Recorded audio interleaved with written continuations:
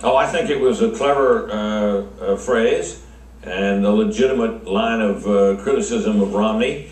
The, the, similarities, conceptual similarities between uh, what uh, Governor Romney did in, in, Massachusetts and what the president has done are unmistakable and real, and they have not cannot be explained away. Uh, and I and and so it's perfectly legitimate. It's not a personal attack. it's an attack on an issue, and the and the and the term ObamneyCare is catchy and clever and may stick around, and we may hear it more. And